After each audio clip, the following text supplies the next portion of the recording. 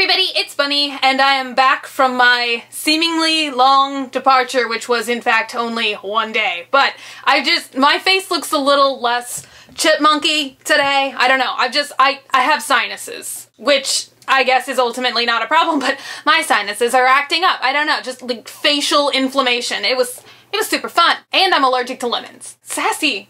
Sassy top knot. Can we just take a moment to observe this? I just, I was gonna totally like take this down and crimp my hair today, but it's looking so sassy. It looks like Ariel's bra. Like kind of from a side angle. Like it just, uh, like seashell?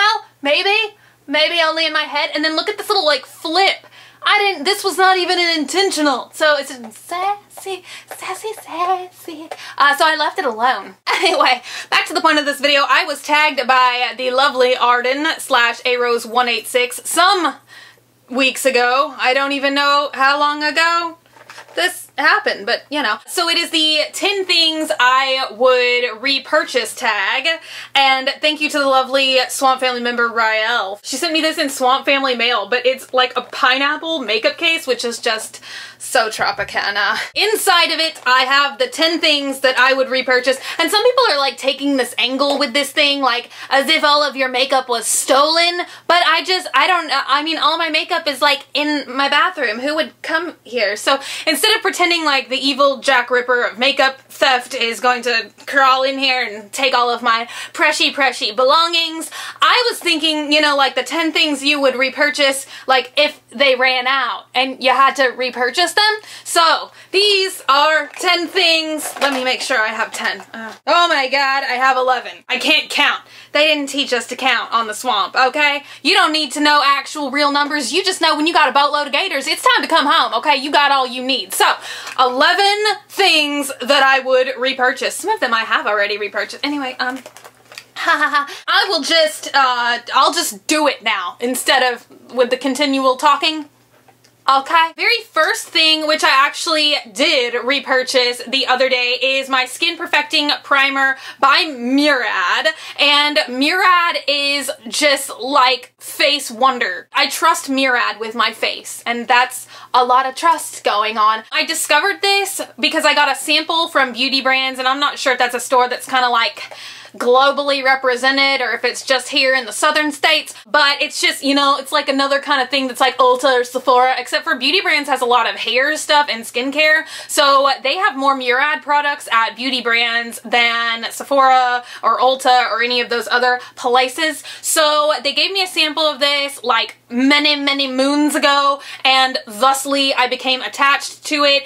It is a acne and shine control treatment. It has 5% salicylic acid, and before I put anything else on my face, I put this on my face because I don't even care if you're using like the most expensive makeup provided on earth. Makeup just, it's kind of dirty to me, you know? It's like that cousin that you invite over for like family gatherings and they like don't wash their hands before they like, you know, pick up, pick up from the family style corn, you know, or is that just me? Uh, so that's what makeup is. So I put this barrier kind of thing on my face before I put any of my other makeup on because I feel like if I put the salicylic acid on my face first, then there is some hope that like the dirt in the makeup and the oil in the makeup will not counteract with my face in some kind of like Bill Nye sciency kind of nightmare experiment. There we go. I talked about this way too long. Uh, so it is a moisturizer and it has a little bit of tint, but it's only available in one color. So it's kind of like a universal thing. It's not really like, I don't, it's not really like a color you can tell or identify as a color. Next thing, this is probably honestly my favorite product by MAC that I have ever gotten. Some people may think I'm overdoing this with like the moisturizer facial tint thing, but you know, you can never have enough of a good thing. So I normally do double up on these products. This is another Studio Moisture Tint kind of primer. I mean, that's that's what this is. Studio Moisture Tint SPF 15. But uh, since this does not have SPF in it, and I live somewhere where the sun is I like to have my SPF on my face. Some people may think that this color is too dark for me. I always go with medium plus, but I just put a little tad, little, little, little tad bit, and then all over the face before I put on any of my foundation, yada yada. This is the color I like. I just, I don't know, man. Like, it that light color in MAC just drives me absolutely wild. It's like only if you want to be Nosferatu do you wear the lightest shade of light. It just like mm, plastic face. It was too much. Much too much. Next product that I would definitely repurchase, uh, once again I got suckered into it with some kind of like sample deal. It is the Anastasia Beverly Hills Clear Brow Gel. Now, I maybe this is like a little bit extravagant, you know, it's like fancy feast, like do you really serve your cat cat food in a crystal dish? Probably not, but you could if you wanted to. I, where was I going with that? Anyway, uh, this is like the queen mother of brow gels. I like I said, got it in a sample from Sephora around last Christmas. I didn't really think that it was going to make much of a difference for years. I had always used the L'Oreal Brow Gel. As you can probably tell, I do have kind of like thick eyebrows. I like my eyebrows like that. I don't, I can't, just thin eyebrows are not for me. Even though some people make fun of my eyebrows, I like them. I'm not going to cut them, okay?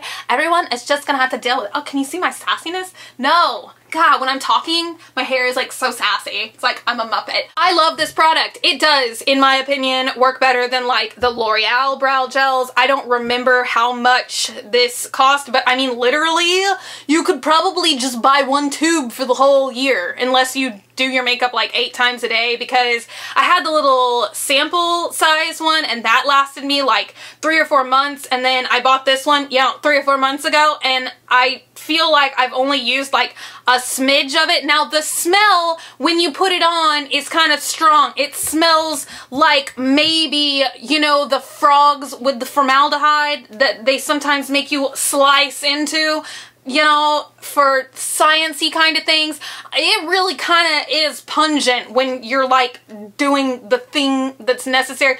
Ugh, I can smell the wafting. As soon as it dries and as soon as it sets and as soon as you put the wand back in the magic wand keeper tube, you don't smell it anymore. So that's not really a problem for me. And if I can buy a product that works better than another product, I don't really care if it smells like grapefruits. This doesn't smell like grapefruit stuff, so mm, definitely frogs. But it's a good product, so if you like frogs, you'll love Anastasia Brow Gel. Next product that I absolutely love and I have loved for many, many a year. Like I would write some kind of country western song about how much I love this and like how I've tried other blushes in between, but this blush is always my honey bun blush that I always come back to. Physicians Formula blush in a blushing rose. You can get this anywhere. You can get, I can even get this at my HEB, which is my grocery store. You can get it at Walmart or Target or just you know, anywhere that you would want to go. It is a nice like mixture of different rosy shades and I've said this before and I will say it again. When I do my blush, I'm really trying to get like a nice shade of like fevered tuberculosis kind of pink. Like I like my cheeks to be really, really rosy and this always does the trick. It's just. I'm just like, oh, blendy, blendy, tuberculosis. It looks good. It works for me. Yeah, yes. Especially if you're fair colored and you want to really have like cheeks, this is for you. I kind of like really talk about all this stuff badly. I'm like, want to smell like frogs? Buy this. Want to look like you're sick and on the verge of death? Buy this. Uh, whatever. Next product that is definitely in my top 11 is the Tarte bronzer in Park Avenue Princess. And I've talked about this several, several times this is kind of like a darker bronzer for more dramatic contouring. I've kind of started using it every day because I really like the color so much, but you can overdo it because somebody last week told me that it made me look like I have sideburns, which I don't know if I should have been offended by that. I wasn't offended, but I was, just, you know, like lots of cool people have sideburns, okay? Like Elvis and uh, I can't, Elvis. Anyway, if you know what you're doing and you're not me, you can definitely much more skillfully put this on than making of the sideburns. I love this color. It's gorgeous. You only have to put it on once and then the contouring lasts all day, even if you live in like some kind of hot, subtropical, swampical kind of place like I do, it definitely adheres to your face, which is goodly in my opinion. So I like this one better than other bronzers that have before swiped on my face. It's a good thing. Next product is something that I cannot buy anymore, which makes me angry. So I cannot repurchase this, but if I could, I would. It is my favorite MAC eyeshadow of all time. I feel like I've almost had this to the point of like it being unsanitary, but I don't see the little pot with a number on the back. So maybe it's okay, maybe there's no rules when it comes to eyeshadow. I, I'm always really sanitary with eyeshadow and the and the brushes and the cleaning them and the wiping to clean them. This is my staple eyeshadow pretty much all the time. When I went through my whole rum diary phase and that's the only kind of makeup look I ever wanted to do, this is what I was using every single day. It is MAC's eyeshadow in Golden Gaze. It looks like a magical little planet somehow in outer space. It's kind of like a gold and a, and a smoky black kind of color, all like swirled together hanging out. It's gorgeous. I will literally cry actual tears the day that I hit pan on this and I will not know what to do. I have not really successfully found a dupe for this. I found things that are kind of maybe like it, but nothing like, I don't, that's one of the things that kind of bothers me about MAC. I'm just like, why can't you make more than just 12? Next product is, I have two red lipsticks in here. Sorry, I'm not sorry. Red lipstick is my facial staple. If I could only have one thing for my face in my life, I would pick red lipstick. So, first red lipstick is one of my favorites of all time. It's super dramatic. I'm sorry if there's like grubby little fingerprints on here. That's the only thing that I don't, God, it's like blinding people too. I could like, man, if I got lost in like a forest, I could just like send out magical like moon signals, like use the light from the moon and be like, I'm over here. I kind of wish that Yves Saint Laurent would repackage these kind of lipsticks like this. I'm really not that fond of the packaging. I like their sheer voluptual candy packaging better. I think that this just looks so much better uh, than this like just beacon from Mars. This is my all-time favorite like non-matte red lipstick. It is gorgeous and when you have it on it is just like the reddest of all reds literally just it's very red. Uh, oh I didn't even tell you what it is. it's uh Yves Saint Laurent Le Rouge. That's what this is. I don't care that I'm not saying it right. I'll say it wrong again. That being said, I'll go ahead and show you the other favorite red of all time and this is literally what I've been wearing steady probably for the past like four months. I got this originally for free from Sephora. It was once again in some kind of like little sample thing. I just tried it randomly one day and then this is kind of what started my entire love of Tarte Cosmetics. I absolutely love this chubby lip pencil. My favorite thing about it is that it's a matte shade, so I definitely feel more comfortable with wearing this, you know, like if I'm gonna go out to eat or, you know, just like if I'm gonna be out for a long period of day, a long period of day. It makes no sense. This can tend to feel a little bit more like gloppy, you know, because it's kind of got like a gloss to it, whereas since this is matte, it never really feels like that in the first place. So it's just, I don't know, kind of like more better for, more, more, more goodly for all occasions. Next thing is also another kind of like lip color and I get asked about this one a lot because this is what I'm wearing in my current Twitter default photo and a lot of people ask me what color this is because of that. This is one of my favorite staple lip colors for the fall and it's actually just a lip pencil from MAC and this is in their permanent collection so it's something that I think you can still get if you wanted to go out and get it for yourself. It is MAC's Night Moth and you can't really, I don't, like, I kind of like made the pencil dirty. I don't know. You're probably not gonna be able to. Why don't I just swatch it? Swatchy, swatchy, swatchy. It's kind of like a really dark burgundy-ish shade. Now, I originally bought it to like layer over other colors, but sometimes I've gotten to the point where I just wear this solo by itself because it really just comes off looking like a matte lip color.